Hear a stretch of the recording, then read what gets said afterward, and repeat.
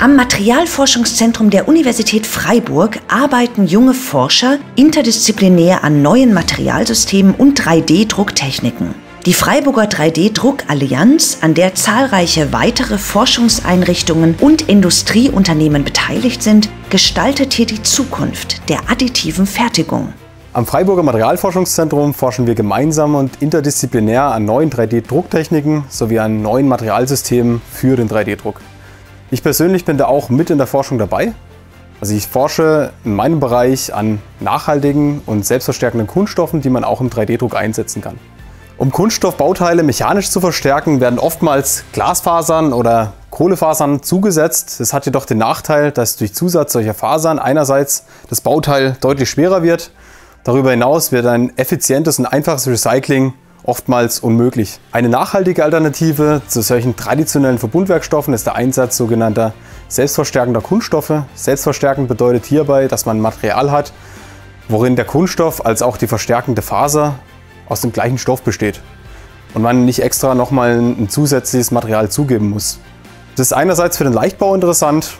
Darüber hinaus ist es möglich, dieses Material danach äh, wieder zu verwerten. Man kann es recyceln. Das Besondere an den in Freiburg entwickelten Materialien ist, dass sie bereits während der Verarbeitung in der Kunststoffschmelze faserähnliche Strukturen ausbilden, was sowohl die Herstellung als auch die Verarbeitung äh, massiv erleichtert. Der Kunststoff ist dabei so designt, dass man ihn mit sämtlichen klassischen Verfahren wie beispielsweise Spritzguss oder Extrusion verarbeiten kann.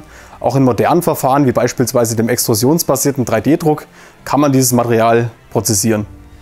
Schlüsselkomponente ist ein spezielles hier in Freiburg entwickeltes Polyethylen mit Anteil an extrem langkettigen Molekülen, also sogenanntem ultrahochmolekularen Polyethylen. Und diese ultralangen Polymerketten werden quasi wie eine Faser im 3D-Drucker entlang der Druckrichtung verstreckt und ausgerichtet.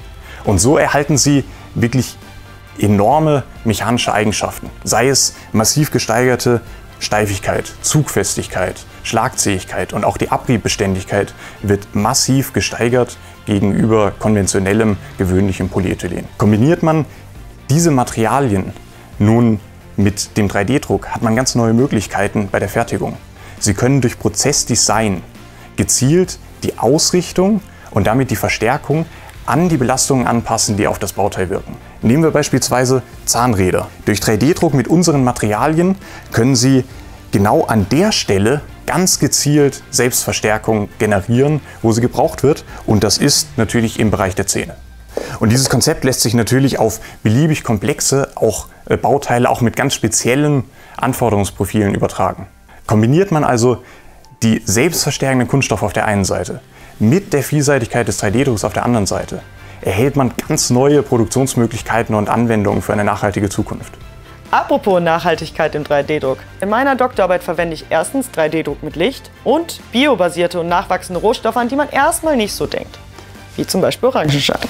Der Vorteil bei Orangenschalen ist, in der Orangensaftproduktion äh, fallen sowieso Tausende von Tonnen pro Jahr an als Abfallprodukt. Sprich, wir können sehr nachhaltig diese Biomasse einsetzen, da wir nicht mit der Lebensmittelproduktion konkurrieren. An unserem Institut können wir jetzt das Extrakt von Orangenschalen nehmen und es zu photohärtbaren Verbindungen in einer einfachen und einstufigen Synthese umsetzen. Das Gute an der Synthese ist, dass wir im Sinne der grünen Chemie keinerlei schädliche Lösungsmittel einsetzen müssen. Anschließend setzen wir diese photohärtbaren Verbindungen im stereolithografischen 3D-Druck mit UV oder Blaulicht ein. Durch die sehr genaue punktuelle Beleuchtung können wir dann an den Stellen das Objekt aushärten. Und das Beste ist, bei der etablierten Synthese und Verarbeitung können wir eigentlich nahezu jeden natürlichen Rohstoff einsetzen. Das heißt, je nach Struktur des, der Ressource können wir Materialeigenschaften maßschneidern. Die Materialeigenschaften unserer 3D-gedruckten Objekte aus den Orangenschalen stehen den kommerziellen und bekannten Verbindungen auf Basis von Bisphenol A in nichts nach. Ganz im Gegenteil, wir haben sogar Verbindungen, die niederviskoser sind und entsprechend sich einfacher und schneller verdrucken lassen. Darüber hinaus enthalten unsere Harze nicht die gesundheitsbedenklichen Bisphenole, die aber trotzdem zum Beispiel in unserem tagtäglichen Leben in der Dentalmedizin eingesetzt werden. Die Kombination von nicht toxischen Komponenten und dem hochpräzisen 3D-Druck ist für biomedizinische Anwendungen von sehr großem Interesse. Der 3D-Druck revolutioniert im Moment die Medizintechnik. Maßgeschneiderte Implantate sowie Hüftgelenke oder Organe aus dem 3D-Drucker sind schon längst keine Visionen mehr, sondern Realität. Und wir am Freiburger Materialforschungszentrum sind Teil dieser Entwicklung. Ein Forschungsgebiet von uns ist die Verwendung von Polymermaterialien in Kombination mit dem 3D-Druck für neuartige Knochen- und Geweberegeneration. Die Polymere werden dabei als Gerüststrukturen für Knochenregeneration verwendet. Diese Gerüststrukturen werden durch eine ganz spezielle Methode, das 3D-Dispensing, hergestellt. 3D-Dispensing, das kann man sich vorstellen wie eine Verarbeitung einer hochviskosen Paste aus einer Polymerlösung, die zu einem bestimmten individuellen Bauteil verarbeitet wird. Die von uns verwendete Paste ist ein kohlenhydratanaloges Polymer, was aufgrund seiner chemischen Struktur, die einem Zucker ähnelt, als besonders biokompatibel gilt. Es war bislang nicht möglich, diese Paste mit konventionellen Methoden zu verarbeiten. In Verbindung mit dem 3D-Dispensing ist es uns gelungen, ein Material herzustellen, welches hochporös ist. Diese hohe Porosität ist eine der essentiellsten Eigenschaften, wenn es darum geht, einen Knochen nachzubilden.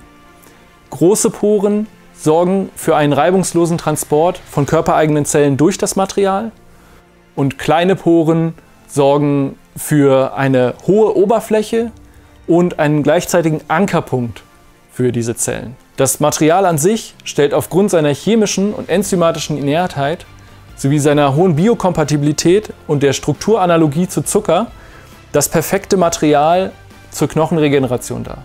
Diese Synergie aus neuartigen Polymermaterialien und dem 3D-Druck hat es also erst möglich gemacht, solche Materialien individuell angepasst zu fertigen. Vielen Dank für Ihr Interesse und für weitere Informationen kontaktieren Sie uns gerne.